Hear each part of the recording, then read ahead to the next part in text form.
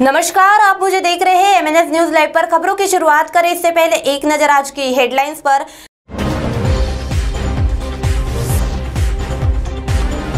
लकड़गंज स्थित सौ मील में लगी आग। सैतीस प्रतिष्ठानों पर दो लाख उनसाठ हज़ार का जुर्माना। ट्रक चोरी में मिला छिंदवाड़ा का अपराधी। आइए देखते हैं खबरें अब विस्तार से। लकड़गंज स्थित सौ मिल में लगी आग। लकड़गंज स्थित सौ मिल में आग लग गई। आग लगने की घटना बुधवार सुबह की है। सौ मिल में आग लगने का कारण अभी पता नहीं चल पाया है। इसके साथ ही कितना नुकसान हुआ है, इसकी जानकारी भी अभी सामने नहीं आई है। आग पर काबू पाने के लिए दमकल की आठ गाड़ियाँ पहुँची है। इस दौरान आग को बुझाने के प्रयास में दो फायर कर्मचारियों को चोटें आई है। जानकारी के अनुसार फायरमैन प्रवीण झाड़े और सफ़ाई कर्मी राजू अदमने की तबीयत बिगड़ने की वजह से दोनों को वर्धमान नगर स्थित न्यू ईरा अस्पताल में भर्ती किया गया। अभी दोनों की हालत ठीक है। तो वही दूसरे और सैतीस प्रतिष्ठानों पर दो लाख उनसाठ हज़ार का जुर्माना।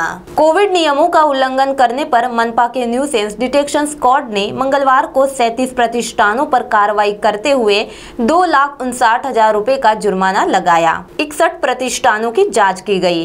मंगलवारी जोन के सहायक आयुक्त के निर्देश पर जिंगाबाई टाकली, बाबा फरीद नगर की प्रकाश डेयरी को सील कर दिया गया। लक्ष्मी नगर जोन में तीन प्रतिष्ठानों से बीस हज़ार रूपए, धर्मपेट में पाँच प्रतिष्ठानों से तीस हज़ार, हनुमान नगर में तीन प्रतिष्ठानों से पंद्रह हज़ार धंतोली में दो प्रतिष्ठानों से दस हज़ार, नेहरू नगर में दो प्रतिष्ठानों से पच्चीस हज़ार, गांधी बाग में दस प्रतिष्ठानों से चौसठ हज़ार, सतरंजीपुरा में दो प्रतिष्ठानों से बीस हज़ार रूपए आसीनगर में एक प्रतिष्ठान से दस हज़ार रूपए वसूले गए। तो वही तीसरा ट्रक चोरी में मिला छिंदवाड़ा का अपराधी। कपिल नगर पुलिस ने ट्रक चोरी में लिप्त छिंदवाड़ा के अपराधी को पकड़ा है। आरोपी नवाज़ उर्फ़ नावेद खान बड़े गाँव उमरवाड़ा, छिंदवाड़ा है। एक मई की रात कपिल नगर थाने के सामने पार्क अशोक पहाड़े, रमाई नगर का ट्रक चोरी हो गया था। पुलिस ने चोरी का मामला दर्ज कर सीसीटीवी के आधार पर जाँच आरंभ की। ट्रक जबलपुर की दिशा में जाने का पता चला।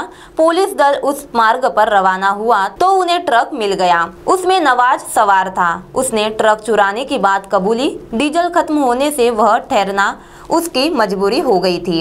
इसी वजह से वह पुलिस के हाथ लग गया। पुलिस ने ट्रक बरामद कर नवाज़ को गिरफ़्तार किया है। अब आप हमारे चैनल को ऐप पर भी देख सकते हैं। प्ले स्टोर में जाकर एमएनएस हिंदी लिखे और ऐप डाउनलोड करें।